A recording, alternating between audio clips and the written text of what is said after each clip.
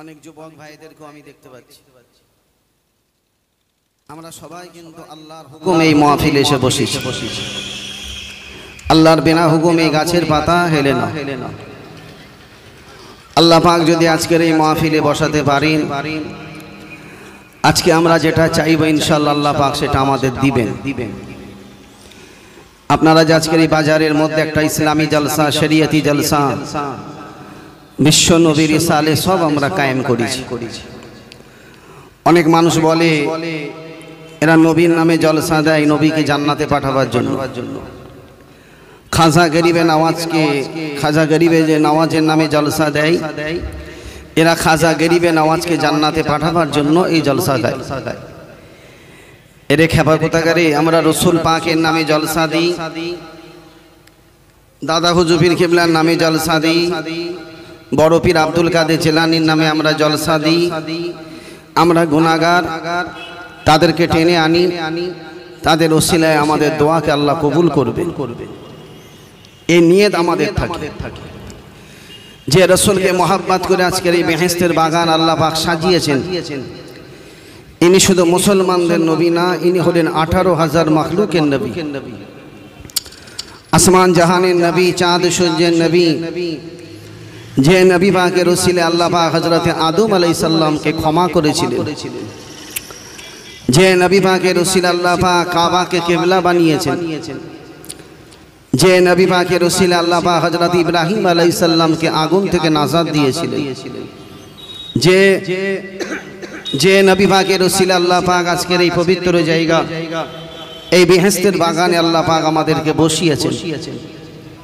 नबी ना होता तो कुछ भी नहीं होता नबी हुआ तो सारा जहान हुआ नबी की वजह से अल्लाह ने आदम को क्षमा किया काबा को किबला बनाया है हजरत इब्राहिम को आग से बचाया है आपको दुनिया में भेजा है और नबी की वजह से अल्लाह ने आपको জান্নাত में भेजेगा जोरे बोलून ना सुबहान अल्लाह বাবা এই সুবহান আল্লাহর আওয়াজ এটা মহাব্বতের সঙ্গে সুবহান আল্লাহ হবে না আর একটু জোরে বলেন আজকের বাজারে জলসা দিয়েছেন, একটু মনে স্পিড রাখতে হবে। আমি তো প্রতিটা জায়গায় বলি, তোরা বাজারে বাজারে বাজারে বাজারে একটা করে নবীর নামে জলসা কর। কথা ঠিক না বেঠিক না বেঠিক আর যে থানার ভেতরে কালী পুজো হয়, দুর্গা পুজো হয়, সেই থানার ভেতরে নবীর নামে জলসা দেওয়া দরকার আছে না নাই? এ জোরে বলেন। হাওড়া জেলায় বহু থানায় আমি জলসা কায়েম করেছি। কথা ঠিক না যেহেতু আমার নবী শুধু আমাদের নবীন আল্লাহ পাক তিনাকে আঠারো হাজার মখলুকের নবী করেছে। যে নবী পাকের রসিল আল্লাহ পাক আসমানের চাঁদটাকে দুটুকরো করেছিল সেই নবী পাকের রসিল আল্লাহ পাক তাম বিশ্বকে সাজিয়েছে। আর সেই নবী পাকের নামে আজকে নবীর ওপরে, রসুলের ওপরে, বেগুনা মাসুম নবীর ওপরে বারবার অত্যাচার হচ্ছে। কি অত্যাচার হচ্ছে না? এই আমাদিকে দেখেন দেখেন। নবীর ওপর অত্যাচার হচ্ছে না। হচ্ছে না আজকে ফিনান্স আমার নবী নামে একটা কার্টুন তৈরি করেছে। পৃথিবীর চিরি ছবি তৈরি করেছে।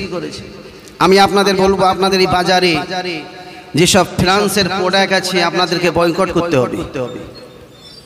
আর যদি বয়কট করেন, ভাববো আপনি পারফেক্ট অব দ্য মুসলমান। আপনি সত্যিকার একটা ইমানদার মুসলমান। গার্নিয়ার কোম্পানি গার্নিয়ার কোম্পানি যত প্রোডাক্ট সব কিন্তু ফিনান্সের এই বুঝতে পারছেন না? গার্নিয়ার যত আছে প্রোডাক্ট সব কিন্তু ফ্রান্সের ওই প্রোডাক্টগুলো আমাদেরকে বয়কট করতে হবে। ওদেরকে আঁতে না মেরে ভাতে মারতে হবে। কি গো? কি গো আজকে আমার নবী কি কষ্ট করেছে ইসলামের জন্য শরিয়তের জন্য। আর আমার নবী ইসলামটাকে জিন্দা রাখার জন্য তাম পৃথিবীতে ইসলামের দাওয়াত পৌঁছে দেওয়ার জন্য আমার রসুল বহু যুদ্ধের ময়দানে গিয়েছিলেন। তাইফের যুদ্ধ বদরের যুদ্ধ খন্দকের যুদ্ধ হোনায়ের যুদ্ধ। বহু যুদ্ধের ময়দানে আমার রসুল্লাহ গিয়েছিলেন। বলতে পারবেন যে অমুক যুদ্ধের ময়দানে আমার রসুল্লাহ হেরে গেছেন। এটা কথা বলেন। প্রতিটা যুদ্ধের ময়দানে আল্লাহ পাক আমার রসুলকে জয়ী করিয়েছে যে যুদ্ধের ময়দানে গেছেন আল্লাহ পাক আমার রসুলকে সেই যুদ্ধের ময়দানে জয়ী করিয়েছে আল্লাহ নবীর কাছে কিছু ইহুদি এসেছিল বখারি শরীফের হাদিস। আল্লাহ নবীর কাছে এসে বলছি হ্যাঁ মোহাম্মদ, আমরা আপনার হাতে হাত দিয়ে কালমা পড়ে মুসলমান হতে চাই। এবং আমাদের ছেলে, পুলে, বউ, বাচ্চা যারা আছে, সবাই আপনার হাতে হাত দিয়ে কালমা পড়ে মুসলমান হতে চায়। আল্লাহ নবী ওদের কথা শুনি হজরতে আবু বাকার সিদ্দিকের মুখের দিকে চেয়ে বলছে, বাবা আবু বাকার, আল্লাহ পাক যাকে যুদ্ধের সেনাপতি করেছে, যুদ্ধের কমান্ডার করেছে হজরতে খোবারকে এক্ষুনি আমার কাছে ডাকো। এক্ষুনি আল্লাহ পাক ওই খোবারকে যুদ্ধের সেনাপতি দায়িত্বটা দিয়েছে, আমি রসুল্লাহ দিন। তাই খোবারকে এক্ষুনি ডাকার প্রয়োজন আছে। হজরতে আবু বাকা সিদ্দিক ছুটতে লেগেছে, ছুটে ছুটে ছুটে ছুটে ছুটে ছুটে ছুটে ছুটে ছুটে খোবারের বাড়িতে গিয়ে হাজির। হাজির দরজা ঠোক। খোবার বাইরে বেরিয়ে দেখেন আবু বাকার সিদ্দিক। যখন আবু বাকারকে দেখেছে হজরতে খোবায় চমকে উঠেছি, কি ব্যাপার? কোনোদিন তো আবু বাকার আমার দরজায় আসে না, আজকের কি ব্যাপার? ব্যাপার হজরতে খোবায়ের একটু আগিয়ে গেছেন, আবু বাকার সিদ্দিক খোবারকে জড়িয়ে ধরে বলছে, ভাই খোবায়ের, আমার রসুল্লাহ আপনার জন্য মদিনার মসজিদ নবাবি শরীফে ইন্তেজার করছে। এখনই আপনাকে যেতে হবে। হজরতে খোবায় তার বাড়িতে গিয়ে নিজের বিবিকে বলছো আমার বিবি, আপনি রান্না বান্না বন্ধ করে একটু আমার কাছে আসেন। আমার নবীর উপরে বড় দুঃখ এসে গেছে কষ্ট এসে গেছে। আমাকে খনি যুদ্ধের ময়দানে যেতে হবে। আমাকে যুদ্ধের তরোয়ালটা এনে দাও। আর যুদ্ধের লেবাসটা আমাকে পরিয়ে দাও। হয়তো আমাকে খনি যুদ্ধের ময়দানে যেতে হবে। তবে আমার বাড়িতে দুটো কচি বাচ্চা আছে। এরা দুনিয়ায় হয়তো এতিম হয়ে যাবে বা ভাড়া হয়ে যাবে। বাপের মহাব্বত এরা হয়তো পাবে না। এই বাচ্চাদের দিকে একটু খেয়ালটা রাখবে। রাখবে। এই বাচ্চাদের দিকে খেয়াল রাখা তোমার দরকার আছে।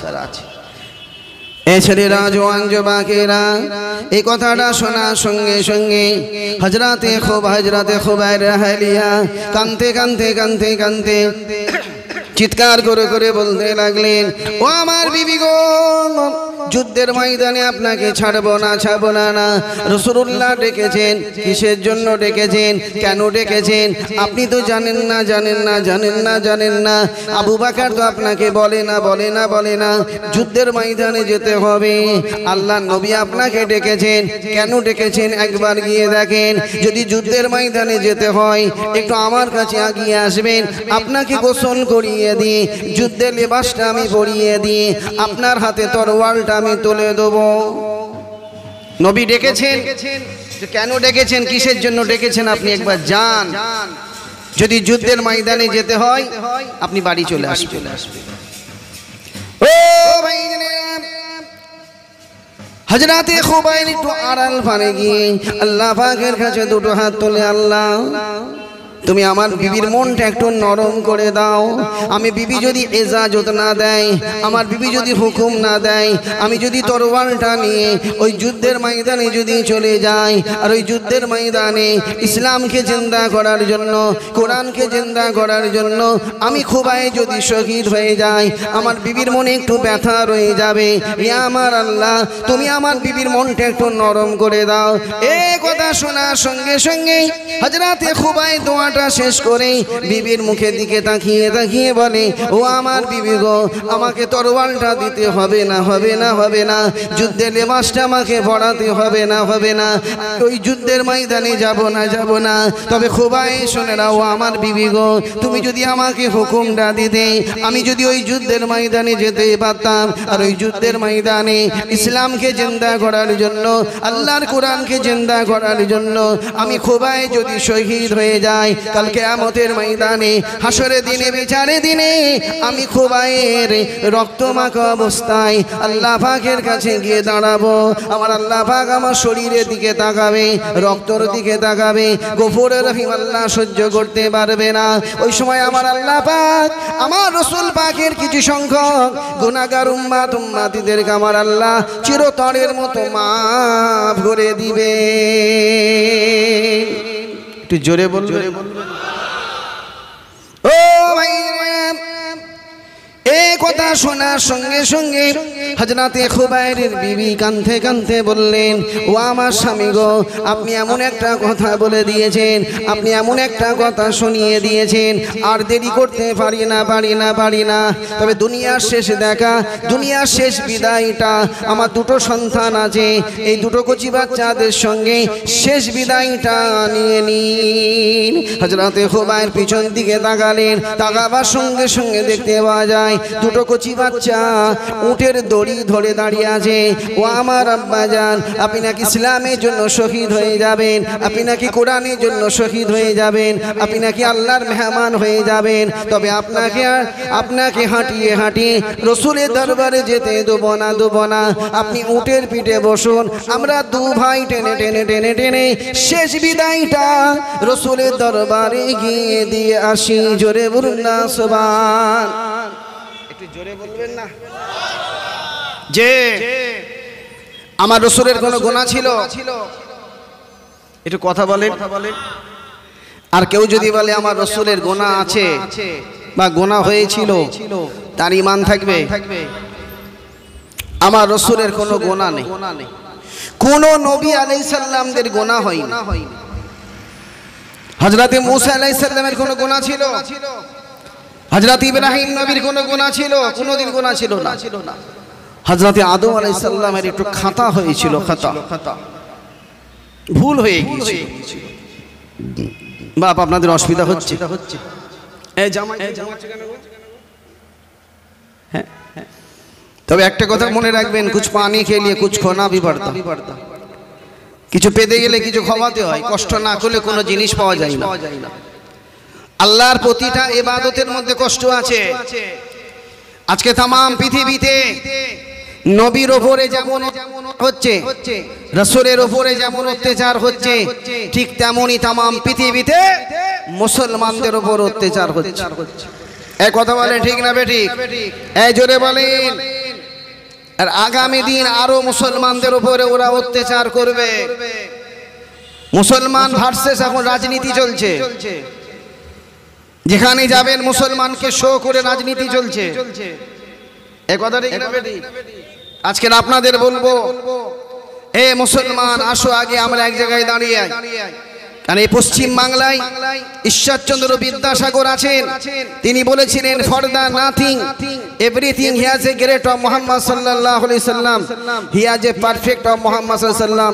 ঈশ্বরচন্দ্র বিদ্যাসাগর বলেছিলেন, এ দুনিয়ার মানবেরা, এ দুনিয়ার সন্তানেরা, দুনিয়া যদি কোনো নেতাকে মানতে যাও, দুনিয়া যদি কোনো মহাপুরুষকে মানতে যাও, দুনিয়া যদি কোনো মহাপণ্ডিতকে মানতে যাও, মুসলমানের নবী মোহাম্মদকে মানো, দুনিয়ায় শান্তি পাবে, কবরে শান্তি পাবে, আখেরাতে নাজাত পেয়ে যাবে। একটু জোরে বলুন না সবা একটু জোরে বলবেন না।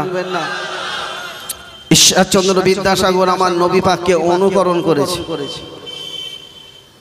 কথা বুঝতে পেরেছেন? ঈশ্বরচন্দ্র বিদ্যাসাগর সারা জীবন আমার নবীকে সম্মান দিয়েছে। রবীন্দ্রনাথ ঠাকুর বলছে, এই মুসলমান, আমি রবীন্দ্রনাথ ঠাকুর, তোমরা আমাকে কাফের বলবে না কাফের? এ শুনছেন আমার কথা? রবীন্দ্রনাথ ঠাকুর বলছে আমাকে কাফের বলবে না। তোমার নবী মোহাম্মদের মুখে দাড়ি ছিল আমারও দাঁড়ি। তোমার নবী মোহাম্মদের মাথায় টুপি ছিল আমারও মাথায় টুপি। তোমার রসুলের গায়ে ছিল জুব্বা আমারও আছে জুব্বা। তোমার নবী মোহাম্মদ লাঠি ধরেছে আমিও লাঠি ধরেছি। তোমার নবী মোহাম্মদ তসবি ধরেছে আমিও তসবি ধরেছি। তাই যতদিন বাঁচব আমি মোহাম্মদকে ফলো করে আমি দুনিয়ায় বাঁচতে চাই। জোরে বলুন না সোভা একটু জোরে বলবেন না। তাই আমরা রসুলকে মোহাব্বাত করে আল্লাহ পাককে ভালোবেসে আজকের এই সুন্দর জান্নাতের বাগিচাটাকে আমরা সাজিয়েছি। খুবই অল্প টাইম দু চার কথা বলে আপনাদের কাছ থেকে দোয়ানো আমার রসুল্লাহ তিনি নিজের জন্য একবার ফরজ হজ আদায় করেছেন। কবার? কবার একটু কথা বলেন। ফরজ হজ নিজের জন্য একবার একবার। আপনি যদি বলেন, না, আমি ফরজ হজ করেছি আর একবার ফরজ হজ যাব হবে না হবে না। ফরজ হজ একবার নিজের জন্য। তো রসুল্লাহ নিজের জন্য ফরজ হজ করবেন হজরতে আবু বাকা সিদ্দিককে বলেন, বাবা আবু বাকার, আমি রসুল্লাহ আল্লাহর কাবার দরবারে যাব। লব্বাইক আল্লাহুম্মা লব্বাইক লব্বাইক লা শারিকা লাকা লব্বাইক, ইন্নাল হামদা ওয়া নি'মাতা লাকা ওয়াল মুলক, লা শারিকা লাক। এটা নিয়ত করে ফেলেছি, আমি আল্লাহর কাবার দরবারে যাওয়ার প্রস্তুতি নিচ্ছি। আল্লাহর নবীর সঙ্গে হযরতে ওমর ফারুক রওনা দিলেন। শেরে খুদা আলী হজরতে বেলাল হজরতে ওমর ফারুক, আম্মা জান আয়েশা সিদ্দিকা রাদিয়াল্লাহু তাআলা আনহু রওনা দিলেন, আমার রাসূল পাকের সামনে দাঁড়িয়ে রওনা দিলেন। আল্লাহ নবী মদিনার মসজিদ নবাবী শরীফে দাঁড়িয়ে খুতবা পড়লেন। শুনতে পাচ্ছেন? খুতবা পড়ে রাসূলুল্লাহ উটের পিঠে সওয়ারি হয়ে আল্লাহর কাবার দরবারে রওনা দিলেন। কাবা ঘরে, কেন মদিনা থেকে মক্কা শরীফ চারশো ছেচল্লিশ কিলোমিটার রাস্তা রাস্তা। আল্লাহ নবী যখন কাবার ঘরে গেলেন, খুবই অল্প টাইমের মধ্যে বলি, আল্লাহ নবী কাবা ঘরে গিয়ে হাজাতে বেলালকে ডাকছেন, বেলাল, আসরের নামাজের রক্ত হয়ে গেছে, তুমি এসো বাবা। কেন আল্লাহ পাক তোমাকে তাম বিশ্বের মোয়াজ্জেন করেছে। মদিনার মসজিদ নবাবী শরীফে শুধু মোয়াজ্জেন নয় তাম পৃথিবীতে যত মসজিদ আছে বা হবে, সকল মসজিদের মোয়াজ্জেন আল্লাহ তোমাকে নিযুক্ত করে নিয়েছেন। জোরে বলুন না, সুবহানাল্লাহ। আর তাম বিশ্বের ইমাম আল্লাহ আমি রসুল্লাহ আমাকে করেছে। তুমি আজান দাও। যখন বলেছে আজান দাও, বেলাল কাবা ঘরে গিয়ে কালো কাপড়ে হাত দিয়ে আল্লাহকে বলছে, আল্লাহ, আমি মদিনার মসজিদে দাঁড়িয়ে কাবা ঘরের দিকে মুখ করে আজান দিই। আর এখন কাবা ঘরের সামনে দাঁড়িয়েছে, আমি এখন কোন দিকে মুখ করে আজান দেবো? কেন কাবা ঘরের সামনে আছে জান্নাতি দরজা? আর জান্নাতি দরজার সামনে আছে মাকামি ইব্রাহিম। আর মাকাম ইব্রাহিমের সামনে আছে আবে জমজমের কুয়া। আর আবে জমজমের সামনে আছে হাজরে আসওয়াদ। একটা পাথর আছে। আল্লাহর কাছে হাত তুলে দোয়া চাইছে আল্লাহ আমি কোন দিকে মুখ করে আজান দেবো?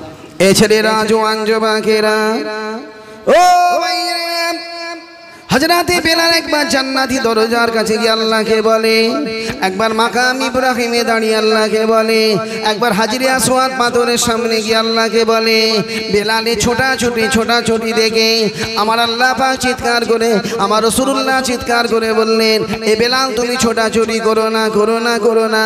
আর তুমি আমার কাছে আগিয়ে এসো, আমার কাছে আগিয়ে আসো। ও বেলাল ও বেলাল, আমি আল্লাহ পাক, আমার আল্লাহ পাক, আমি রসুল্লাহ আমাকে আল্লাহ কাবার কাবা করেছে, কাবার কাবা করেছে। ও বাবা বেলাল, তুমি আমার মুখের দিকে তাকিয়ে তাকিয়ে আসরের আজানটা দেওয়া শুরু করো, জোরে বলুন না সবা। একটু জোরে বলবেন না। তুমি আমার মুখের দিকে চেয়ে আজান দাও। যেহেতু আল্লাহ আমি রসুল্লাহ আমাকে কাবার কাবা করেছি। আমার মুখের দিকে চেয়ে তুমি আজান দাও। বেলাল তো খুশিতে বাগে বাগে। যে কোনোদিন তো আমার রসুলের মুখের দিকে চেয়ে তো আমি আজান দিই। এ বেলাল খুশি হবে না একটু কথা বলেন। আপনাদের বউ মানা করেছে কথা বলতে নাকি?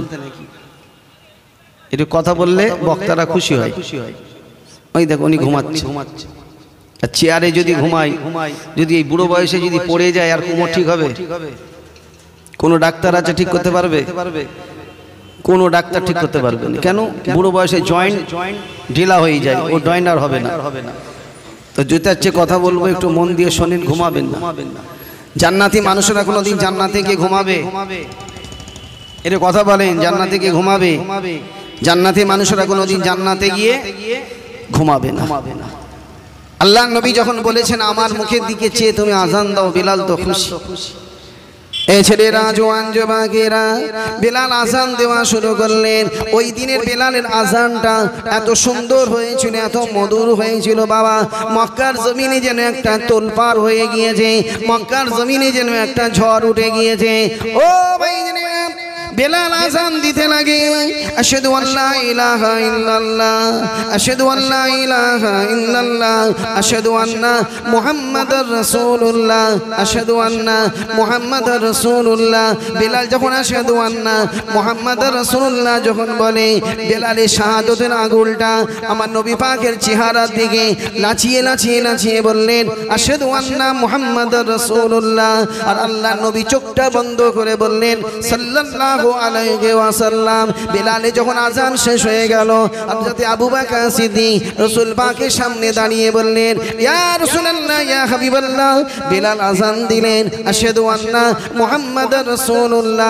আপনি জবানে জবানে বললেন, সাল্লাল্লাহু হুজুর বেয়াদবি মাফ করুন, এটা তো আপনারই নাম। আপনি কেন বললেন, সাল্লাল্লাহু আলাইহি ওয়াসাল্লাম? আল্লাহ নবী চিৎকার করে করে বললেন, ও আবু বকর, শোনো শোনো হযরতে বেলাল যখন আজান দেয়, বেলালের আজানের আওয়াজ আমার আল্লাহ স্বয়ং শুনতে পান। আর বেলাল যখন আসে দোয়ান্না মুহাম্মদ রাসূলুল্লাহ যখন বলতে লাগে, আমি রাসূলুল্লাহ নিজের কানে শুনতে পাই। আমার আল্লাহ পাক সাত তবক আসমান থেকে তিনিও চিৎকার করে করে বলতে লাগলেন, সাল্লাল্লাহু আলাইহি ওয়াসাল্লাম। আমার আল্লাহ যখন বলতে লাগল, আমি রাসূলুল্লাহ থাকতে পারলাম না। আমিও চিৎকার করে করে বলতে লাগলাম সাল্লাল্লাহু আলাইহি ওয়াসাল্লাম, জোরে বলুন না, সুবহান একটু জোরে বলুন, জোরে না। নামাজ শেষ। আসলে নামাজ যখন শেষ হয়ে গেছে আমার রসুল্লাহ বেলালের হাত ধরেছে। ধরে বলছে, বেলাল, আজ থেকে তিন বছর আগে মদিনার মসজিদ নবাবি শরীফে তুমি আসরের আসান দিয়ে একটা কোণে বসে মাথা নিচু করে কাঁদছিলে। বেলাল তোমার কি মনে আছে? বলে হ্যাঁ হুজুর। হুজুর তিন বছর আগে আপনার কি করে মনে রইল? রে তুমি যখন কাবা ঘরে এসেছ আর আমি রসুল্লাহ যখন কাবা ঘরের দিকে চেয়েছি আমার আল্লাহ পাক সে তিন বছর আগেকারের কথাটা আমার আল্লাহ আমার রসুলকে জানিয়ে দিয়েছে। জোরে বলুন না সোভান বেলাল তুমি কেন কাঁদছিলে? একটু সত্য কথাটা বলো তো বলো তো। এ তুমি কেন কাঁদছিলে? ওই দিন আজান দিয়ে মদিনার মসজিদ নবাবি শরীফের একটা কোণে বসে বসে কাঁদছিলে কি ব্যাপার। বেলাল ওই সময় বললেন, ইয়া রসুলাল্লাহ, আমি যখন আজান দিই, আজান দিয়ে যখন একটু মদিনার মসজিদে বসে থাকি, মদিনার মানুষেরা দলে দলে দলে দলে আসে, নামাজ পড় নামাজ পড়তে। আর ওরা মদিনার মসজিদে এসে, ওরা আমার মুখের দিকে চেয়ে চেয়ে খুব হাসে, খুব ঠাট্টা করে। যেহেতু আমি কালো। কালো এই শুনতে পাচ্ছি আমি কালো। কালো তাই আমার দিকে চেয়ে চেয়ে ওরা খুব মুচকে মুচকে হাসে। আর আর জানি না কি মনে মনে তারা বলে আমাকে দেখে খুব ঠাট্টা করে। হুজুর বিয়াদবি মাফ করেন আমি তো কালো। কালো। ওই জন্য মনে হয় ওরা আমার মুখের দিকে চেয়েছে হাস। কেন আল্লাহ পাক? মদিনার মানুষদেরকে আল্লাহ অনেক রূপ দিয়েছে অনেক সৌন্দর্য দিয়েছে। আর আমি তত সৌন্দর্য নয়। আল্লাহ নবী বেলালের ডান হাত ধরে বলছেন বেলাল এসো। এসো। আমার সঙ্গে এসো।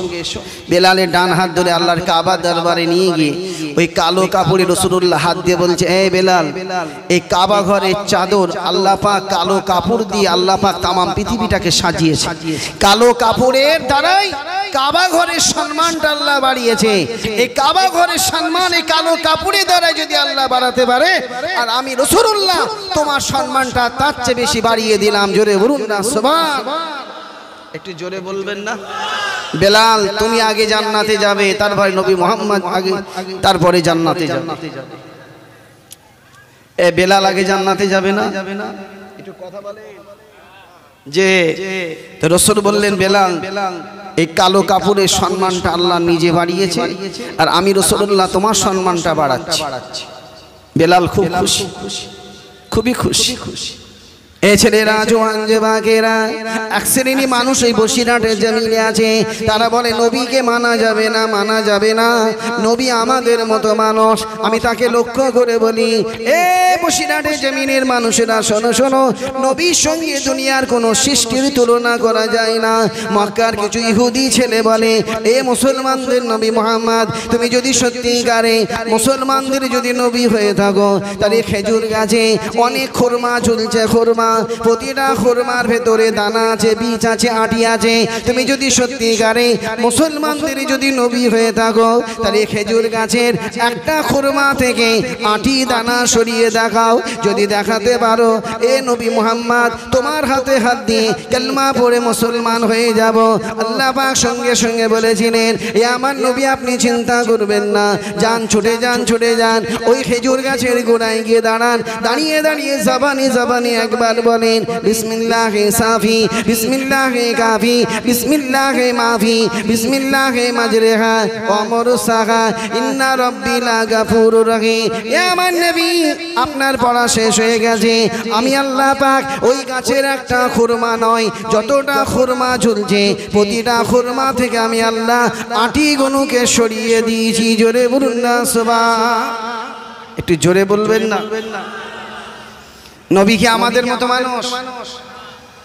এই জোরে বলেন, নবীর সঙ্গে দুনিয়ার কোন সৃষ্টির তুলনা করা যাবে? এই নবীর সঙ্গে খাজা গরিবের আওয়াজে সম্পর্ক ছিল না ছিল না? এই জোরে বলেন, নবীর সঙ্গে ফুরফুরার পীর আবু বাকর সিদ্দিকের সম্পর্ক ছিল না, ছিল নি? নবীর সঙ্গে বসিরহাটের আল্লামা রুহুল আমিন হুজুরের সম্পর্ক ছিল না, ছিল নি? এই জোরে বলেন, তাহলে পশ্চিম বাংলার দায়িত্বটা আমার আল্লাহ ফুরফুরার পীর আবু আবু সিদ্দিককে দিয়েছিলেন। আর দিল্লির দায়িত্বটা আমার আল্লাহ আউলিয়াকে দিয়েছিলেন। ইউপির দায়িত্বটা দিয়েছিলেন। শেরে শাহকে দিয়েছিলেন। হিন্দুস্তানের দায়িত্বটা আমার আল্লাহ। হিন্দুস্তানের খাজা গরিবে নামাজের হাতে তুলে দিয়েছিলেন। জোরে বলুন না সবা তাহলে আজকের হিন্দুস্তানের জমিনে যদি বলে আমরা সব কিছু হিন্দুস্তানের জমিনে যদি কেউ বলে আমরাই সব এ তোরা আছিস দশ বছর তোরা আছিস দশ বছর বিশ বছর পনেরো বছর। আর আমার আল্লাহ পাক খাজা গরিবে নওয়াজকে কেয়ামত পর্যন্ত আল্লাহ তিনাকে রাজত্ব দিয়ে দিয়েছে। তিনার মননের পরে তিনার কবরে ধারে গিয়ে দোয়া চাইছে কেন মুসলমান এমন একটা জাত এরা মরণের পরও রাজত্ব চালায় চালায়। এই কথা এরা মরণের পর রাজত্ব চালায়। মুসলমান এরা মরো জেন্দা। এই কথা আপনাদের কষ্ট হচ্ছে। আজকে নবীর ওপর অত্যাচার করতে করতে কোরআনের উপর অত্যাচার। পৃথিবীর কোনো বৈজ্ঞানিক পৃথিবীর কোনো বৈজ্ঞানিক কোরআনের একটা অক্ষর কেউ ভুল দেখাতে পেরেছে। একটু কথা বলে আর যে ভুল দেখাতে এসেছিল সে কালমা পড়ে মুসলমান হয়েছে। কালমা পড়ে মুসলমান হয়েছে। আজকে তামাম এই পশ্চিম বাংলায় আমরা শান্তিতে বাস করি হিন্দু মুসলমান। আমরা একই সঙ্গে থাকি একই সঙ্গে ব্যবসা বাণিজ্য করি। আমাদের ভেতরে একটা আত্মীয়তা আছে সম্পর্ক আছে। ওদের ভেতরে মণ্ডল আছে আমাদের ভেতরে মণ্ডল আছে। ওদের ভেতরে চৌধুরী আছে আমাদের ভেতরে চৌধুরী আছে। ওদের ভেতরে মল্লিক আছে আমাদের ভেতরে মল্লিক আছে। এই সম্পর্ক ফুরফুরা ফির আবু বাকার সিদ্ধি করে দিয়ে গেছে। তাই আমরা আজও পর্যন্ত পশ্চিম বাংলার মাটিতে শান্তি অবস্থায় থাকি। পশ্চিম বাংলার কোনো গায়ের কম বলতে পারবে না কোনো হিন্দু ভাইয়েরা বলতে পারবে না যে পশ্চিম বাংলায় কোনো রকম কোনো হিন্দু মুসলমানের দাঙ্গা হয়েছে। কি গো হয়েছে? একটু কথা বলেন হয়েছে। হয়নি। হয়নি। হয়নি। দাদা হুজবির কেবলা বলেছিলেন এ মুসলমান শোনো ওদের ভেতরে এমন একটা আত্মীয়তা আমরা করেছি ওদের মিষ্টির দোকান থেকে মিষ্টি কিনে জুম্মার দিনে আমরা মসজিদে নিয়ে যাই। মসজিদে নিয়ে গিয়ে নামাজের পরে মিলাদ পড়ি মিলাদ পড়ে ওই মসজিদে বসে ওদের মিষ্টিটা আমরা বসে খাই। এ ঠিক বলেছে না ভুল বলেছে? একটু কথা বলেন। ঠিক না বে ঠিক? ঠিক। তার কারণ কারণ এই আত্মীয়তা, এই সম্পর্ক ফুরফুরার পিন আবু বাক্কার সিদ্ধি করে গেছে। কোরআনের ওপর অত্যাচার করতে করতে করতে করতে এখন মসজিদের ওপর অত্যাচার হচ্ছে। মসজিদের ওপর অত্যাচার। মসজিদের ওপরে অত্যাচার শুরু হয়েছে। কি গো, কথা ঠিক না বেটি আল্লাহ বলছেন, শোনো, বান্দাদের ওপর অত্যাচার করছ। আমি আল্লাহ বান্দাদের সবরকে আমি কবুল করছি। তাদের হেফাজতের দায়িত্বটা আমি নিয়েছি। তবে তোমরা যদি মসজিদের ওপর অত্যাচার করো জুলুম করো এই বাংলার জমিনের মানুষ শোনো মসজিদ হলো কোনো বাবার ঘর নাই মসজিদ হলো আমার আল্লাহর নিজস্ব ঘর। এই কথা ঠিক না বেঠিক? ওটা কার ঘর? এই জোরে বলেন কার ঘর? আর আল্লাহর ঘর যদি হয় হেফাজতের দায়িত্বটাও আল্লাহর কাছে আছে। কথাটা কিনা বেট এ যে মসজিদে পাঁচশো কুড়ি বছর ফজরের নামাজ হয়েছে যে মসজিদে পাঁচশো কুড়ি বছর ঈশান নামাজ হয়েছে যে মসজিদে পাঁচশো কুড়ি বছর জুম্মার নামাজ হয়েছে সেই মসজিদটা হলো বাবরি মসজিদ বাবরি মসজিদ। ও ভাইজানেরা, বাবরি মসজিদে এক বছর, দু বছর নয়, দশ বছর জুম্মার নামাজ পড়িয়েছেন।